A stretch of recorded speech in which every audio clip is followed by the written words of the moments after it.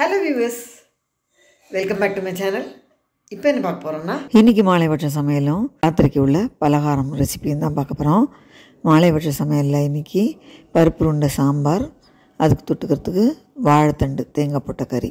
Night பலகாரத்துக்கு கோதுமை ரவை உசிலி உப்புமா. எப்படி பண்ணலான்னு பார்க்கலாமா? பருப்பு உருண்டை சாம்பாருக்கு இது துவரம் பருப்பு ஆஃப் கப்பு கடலைப்பருப்பு கால் கப்பு சேர்த்து நனைச்சி ஊற வச்சு ஒரு மணி நேரம் ஊற வச்சா போகிறோம் நல்ல தண்ணி எல்லாம் வடியணும்னு சொல்லிட்டு இதில் போட்டிருக்கேன். இந்த மாதிரி பண்ணும்போது வணக்கிலாம் பண்ண வேண்டாம்.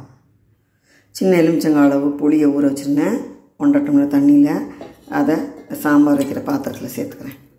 இதில் மஞ்சள் பொடி பெருங்காயம் உப்பு சாம்பார் பொடி ரெண்டு ஸ்பூன் சேர்த்துக்கிறேன். இது பச்சை புளி வாசனை பொடி வாசனை போக நல்லா கொதிக்கட்டும். அதுக்குள்ளே பருப்பு உருண்டைக்கு அரைச்சிடலாம். இது காரத்துக்கு நாலு மிளகாத்தல் இந்த பருப்பை தண்ணி இல்லாமல் இதில் சேர்த்தாச்சு. பெருங்காய பொடி உப்பு ரெண்டு ஜீரகம் சேர்த்து இதை தண்ணியே விடாமல் கரகரப்பாக இந்த மாதிரி அரைச்சி எடுத்தாச்சு. பொடி பொடியாக நறுக்கின கருவேப்பிலை சேர்த்து நல்லா மிக்ஸ் பண்ணிக்கலாம். இப்போ இதை இந்த மாதிரி சின்ன சின்ன உருண்டையாக பிடிச்சி பச்சை வாசம் போக கொதிச்சுட்டு இருக்கிற இந்த குழம்புல சிம் பண்ணிவிட்டு ஒன்று ஒன்றா ட்ராப் பண்ணிக்கணும். கரண்டி போட்டு கிளறக்கூடாது. அது தனியே வெந்து மிதக்கும். இது மாதிரி நல்லா கொதிக்கிறது பாருங்க. ரெண்டு நிமிஷம் ஆயாச்சு. உண்டை போட்டு கரையாமல் இருக்கு பாருங்க.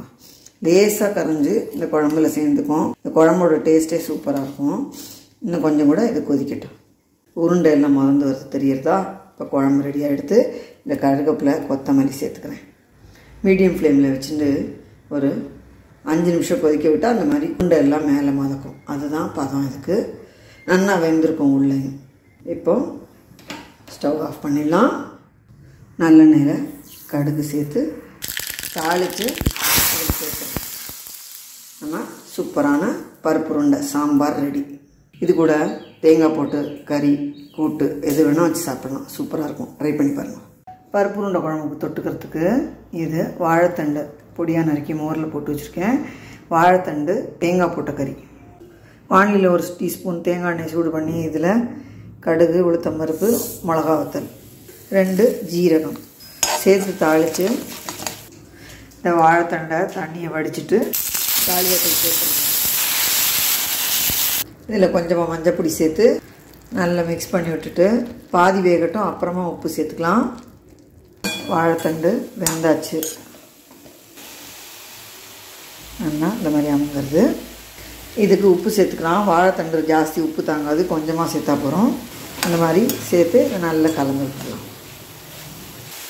இதில் ஃப்ரெஷ்ஷாக துருவின தேங்காய் துருவல் ஒரு மூணு டேபிள் ஸ்பூன் அளவு சேர்த்துக்கலாம்.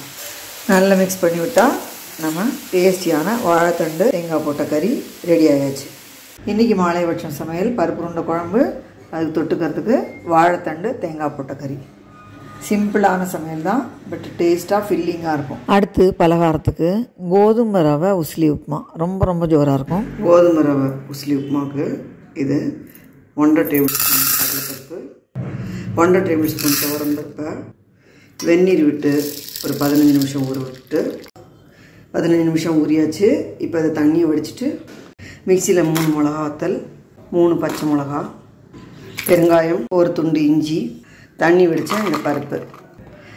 தண்ணியே விடாமல் இதை கரகரப்பாக இந்த மாதிரி பொடிச்சு எடுத்துட்டு வானிலையில் ஒன்றரை டேபிள் ஸ்பூன் தேங்காய் எண்ணெய் சூடு பண்ணி அதில் கடுகு உளுத்தம்பருப்பு கருகப்பில் சேர்த்து தாளிச்சுட்டு இந்த கரகரப்பாக அரைச்சி வச்சுருக்கிற பருப்பு கலவை இதில் சேர்த்து நல்ல உதிர உதிர ஆகிற மாதிரி ஒரு நிமிஷம் வதக்கிட்டு கோதுமை ரவை எவ்வளோ எடுக்கிறோமோ அதுக்கு ஒன்றுக்கு ரெண்டு பங்கு தண்ணி விடணும். நான் ஒன்றரை டம்ளர் கோதுமை ரவை எடுக்க போகிறேன் இப்போது மூணு டம்ளர் தண்ணி விட்டுக்கிறேன் இதுக்கு தேவையான உப்பு ஒன்றரை டீஸ்பூன் சேர்த்துக்கிறேன். இது நல்லா வெட்டி தழைச்சி கொதிக்கட்டும். நல்லா இந்த மாதிரி வெட்டி தழைச்சதும் ஒன்றரை கப்பு கோதுமை ரவை இதில் சேர்த்து கலந்து விட்டு டூ மினிட்ஸ் வேக விட்டு இதில் மூணு டேபிள் ஸ்பூன் அளவு தேங்காய் துருவல்.